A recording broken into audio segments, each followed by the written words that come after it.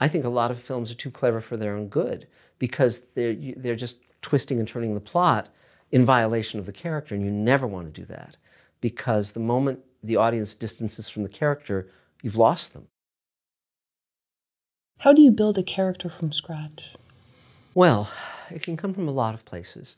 Uh, I de- I, what I do is I keep a list of people that I've known in my life and, and actors that I love, all of whom are very distinctive and have different ways of talking.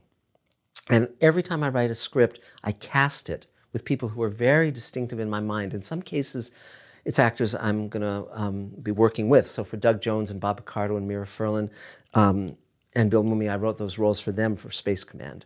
Um, but in some cases, it might be an actor that I'm not going to get. Like, for instance, I wrote a script called Fugitive Space, and the template I used for the lead was Ed Harris in The Abyss because it was a great character and a great voice, I could see him very clearly in my mind. So I knew that Ed Harris wasn't going to play that role. He's too old for that role now, for one thing, but but it made the character very real, very alive to me. And um, so you just make sure that nobody is just flat, nobody's just there for exposition. Um, you never, I don't tend to describe the physicality of a character because often you might have something in mind, but there might be an actor who doesn't look a thing like that who's great. And you don't want to limit it. And, um, and I also very much want diversity in my in my cast, Asian, black, different countries, as more the better, you know. And uh, so that's also part of the part of the design. I cast a lot of actors uh, from restaurants I eat at. The waiters are all the waiters and waitresses are all actors and actresses. And I'll if I find someone who's good or who intrigues me, I'll say, send me your reel, and I'll I'll cast them. Yeah, I've done that a lot. That's great. I like that. Yeah, and also too, you can see how on they are. yes. Know, well, there was one. Industry, there was there's a restaurant called Granville in the Valley, and there was a young actor who looked exactly like he could be the son of Ethan McDowell, who plays Jack Kemmer, the lead in Space Command, and he was an actor, and I uh, and I cast him. He's he's in uh, the bonus episode, and he's great. He does a great job. So I'm gonna he'll be in more episodes coming up. What mistakes do new writers make in writing characters? The, new writers make a lot of mistakes in writing characters. Usually the biggest mistake is they're just flat. They all sound alike and they just are saying exactly what they're thinking. In real life, people don't say what they're thinking generally. Um, they might say what they're thinking directly in an argument, but often not, not even then. Um, so you want to think about how people really talk. And also remember that a script is not a representation of real life. It's like a 120 page haiku.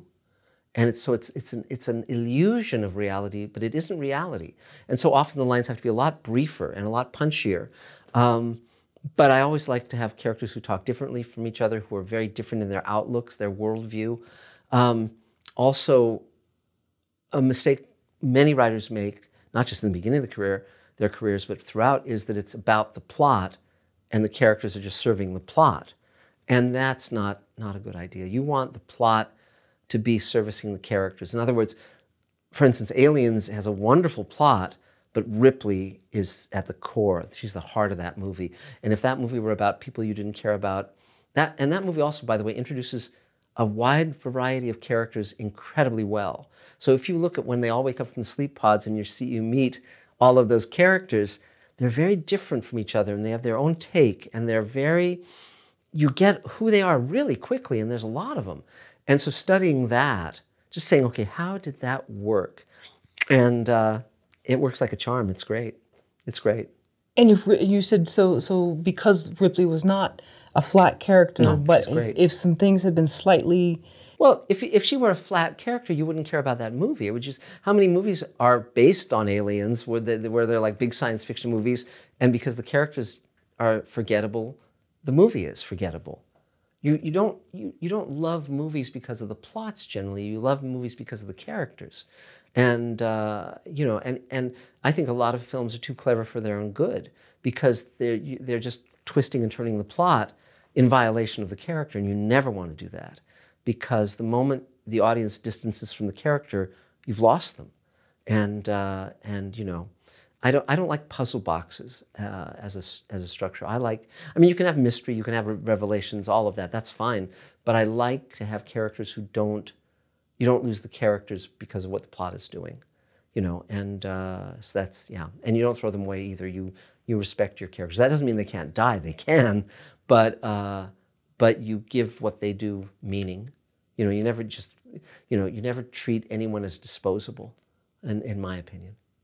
And so, with the dialogue, knowing that it's going to be distinct for each character, mm. you think a lot of new writers start out thinking, "Okay, I'm going to do sort of an Aaron Sorkin-esque, sort of you it's, know, very talky, it's witty." A pretty, it's a, well, also that's another mistake that beginning writers make, which is they're they're, they're, they're talking, talking, talking, and talking, like get in and get out. You know, it's like make your point and then on to the next scene. Don't belabor it. You know, so they, they're, they're much too wordy. And also, yeah, imitating Quentin Tarantino, imitating Aaron Sorkin, try not to. You know, uh, I, I, mean, uh, you know, Serling said when he started out, he everything he wrote was bad Hemingway. You know, he said everything began, it was hot. You know, so, you know, and, and that's forgivable in young people. But again, you have to find your own voice. You have to find, and the way to find your own voice is what do I care about? What do I know about? What do I alone know? What, you know, and that it doesn't mean you can't write things that are different from what you've actually lived. But what do you know about and what do you care about and what gets you riled up and what's where do you live emotionally? And find and and you know, and then when and, and if you hear someone say something just in your your your day, I always carry a little notepad with me and I jot things down. Because if someone says a line that's like, wow, that's great, you know, it's like I'll, you know, I'll utilize that, you know, and uh and try not to rip off dialogue from other movies because God, it's so so many people rip off lines from Aliens, and it's like, oh, please don't. And uh, you know, so that's part of it. Um, and and and don't bore. If if something's boring to you on the page, it'll be boring to everybody. So keep working on it until it works. and sometimes a scene doesn't work, and the only way to make it work is to get rid of it. And so be willing to do that.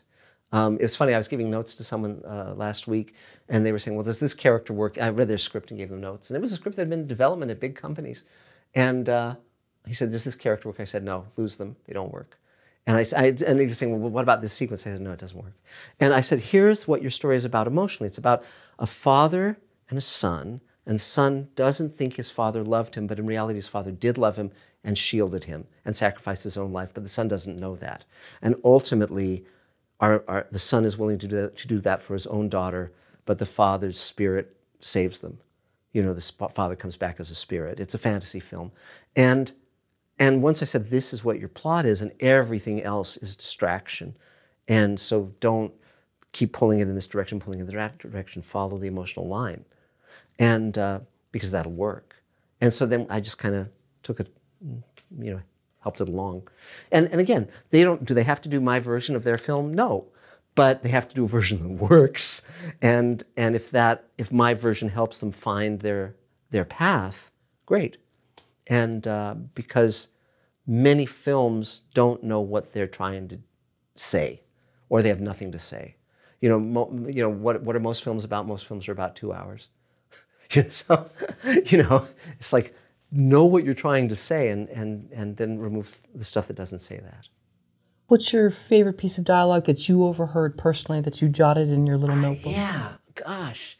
Um, you know, it's, I don't remember, and sorry about that. It's like, you know, I, I remember one of my favorite lines that I ever wrote. It's a terrible line. It's terrible. They're in Fugitive Space, which is about um, a future where we trade our worst prisoners with alien prisoners. Uh, they uh, they breathe methane, we breathe oxygen.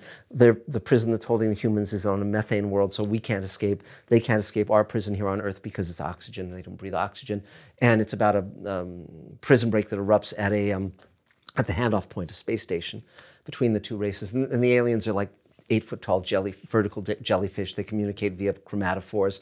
Really fun. And, um, and we're going to be doing that as a TV show. But, the, uh, but I had this guard who was like really sadistic. And at the end, he saves one of our characters and he dies. And when he dies, he says, I don't know why I did that. And, and the, his boss, the prison, the, the head of the, the guard says, he was a prick, but he had balls. it's such a stupid line, it's like that's pretty good. That's funny. Yeah. And you know, and again, you know, you but again, it has to be that character who would say that line, you know. And uh, I think he was a dick, but he had balls. Whatever it is, you know, it's, it's, you know. But again, the reason that line, I like that line, is because this is a script that has rougher talking characters. You'd never have that line in Space Command, for instance, which is much more a family show.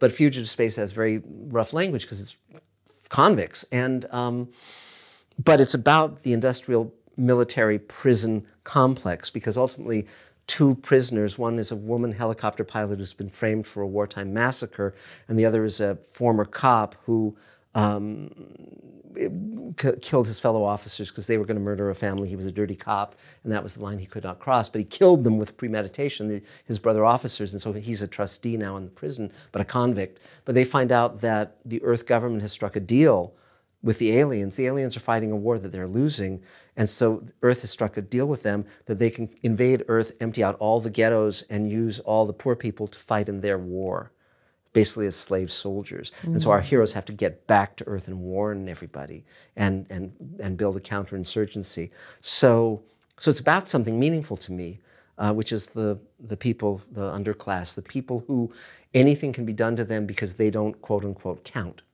And I write about that thematically a lot. The people that people need to be given respect. People need to be seen as human and as, as equal to us in every way. And um, so so it's going to be a very interesting show. But um, but I created the characters who speak a certain way so that line works in that in that context. But the hero doesn't say that. I just have this tough prison head, you know, the, the boss of the prison guard, sort of a Charles Durning. I use Charles Durning as a model for that guy. And even though Charles Durning is an older actor who passed away, but he's very vivid in my head. So that allows me to write him. So eh, there you go. But I've written other lines, you know, but, uh, you know, it, it, it depends, you know, on any given day.